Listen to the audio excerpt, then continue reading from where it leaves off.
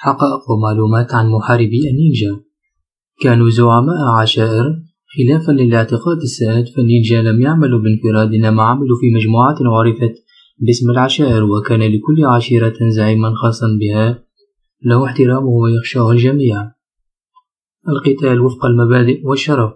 للنينجا الياباني بالذات قواعد خاصة في القتال أهم واحترام الطرف الآخر والقتال وفق قواعد نزيهة وبعيدا عن استعمال الحيل والخداع حتى لو عني ذلك خسارة المبارزة وفقدان حياتهم في سبيل الشرف. نينجا الأيام الحديثة على الرغم من أن فن قتال النينجا من الفنون القديمة التي يظن الكثيرون أنه اندثر إلا أن العديد من المعاهد القديمة والحديثة تعمل على تعليم المنتسبين أصول هذا الفن القديم وإبقاء شعلته موقدة في بلدان مختلفة. الحاسة السادسة للاتجاهات للنينجا مهارة خارقة في تحديد الاتجاهات حتى في أحلك الظروف. فقد كان المقاتلون قادرين على تحديد اتجاه الشمال حتى وإن كانوا معصوبي العينين أو محتجزين. الشينوبي. اليوم يعرف أولئك المقاتلين المقنعين باسم مقاتلي النينجا لكن الاسم الحقيقي لهم في الثقافة اليابانية القديمة هو مقاتل الشينوبي. أساليب خداع العدو. للنينجا أساليبهم الخاصة في خداع العدو في المعارك. من هذه الأساليب الذكية التموية عن طريق آثار الأقدام وذلك عبر ترك آثار وهمية تعود للأطفال الصغار أو كبار في السن أو حيوانات من أجل تضليل العدو في الدرب.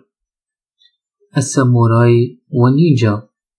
على الرغم من أن كل المحاربين من أبرز العشائر المحاربة في الثقافة اليابانية القديمة إلا أن بعض الاختلافات الجوهرية تتواجد بين العشيرتين فالساموراي كانوا عادة من النبلاء الذين اتبعوا ما يعرف باسم رمز بوشيدو في القتال. أما النينجا فكانوا عادة من الطبقات الدنيا في المجتمع ويعملون لصالحهم. أما الساموراي فكانوا يعملون بدقة لخدمة الإمبراطور. زي شينوبي شوزوكو. عادة ما يرتدي مقاتل نينجا اليابان الزي الأسود اللون المعروف باسم شينوبي شوزوكو. واختاره المقاتلون أسود اللون من أجل التخفي.